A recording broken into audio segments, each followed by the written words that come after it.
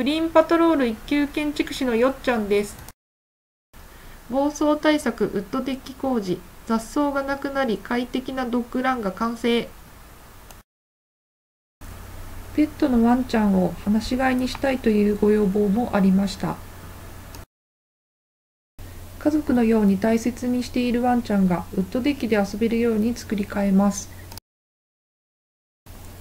ワンちゃんのおトイレスペースも確保したいとのことです。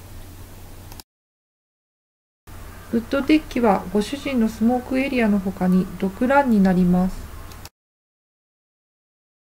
ウッドデッキへアプローチしやすいようにステップを設置しました。ウッドフェンスを設置して囲っている範囲がワンちゃんの放し飼いスペースです。手前の穴を掘っている場所へ門扉が設置されます。ウッドデッキ奥の反対側も敷地、狭い敷地へワンちゃんが出られないようにします。奥に見える小さな扉は手作りの門扉です。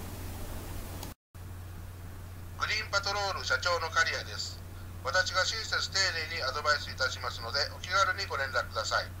フリーダイヤル0120 041-301です。お電話お待ちしております。